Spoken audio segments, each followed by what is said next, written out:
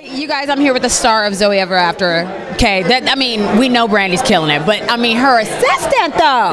How we doing? I'm doing so good, baby. So good to see you. Oh my God, you too. Okay, so I always, every time I see you, it's always like a joy. What is it that feeds your spirit? I always want to know. What feeds my spirit?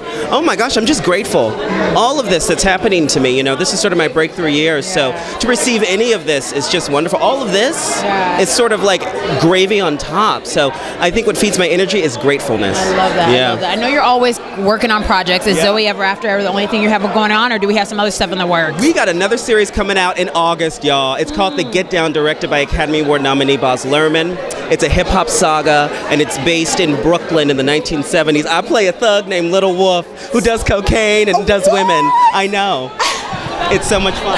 I love because that's complete opposite to your character. Completely opposite. I'm so happy at the opportunity. I sort of marvel at my opportunity to play this sort of versatility. So it's wonderful. I love that you didn't get boxed in so early. Gosh, no. Well, I'm a theater trained actor, so Yeah. I, I have capabilities, you know. Mm. I have capab- I love it. Okay, what's exciting about being here tonight? Excited. Oh my gosh. I mean, I just saw Diahann Carroll. How iconic is that? With Mike Epps, I got to shake his hand. I get to see Don Cheadle be honored and, and the, the, the immaculate Regina King. So to be here amongst black excellence is a thrill. Awesome. I love that. And last but not least, favorite Diahann Carroll song. D- What, which one? Favorite Diahann Carroll song. My favorite Diahann Carroll song.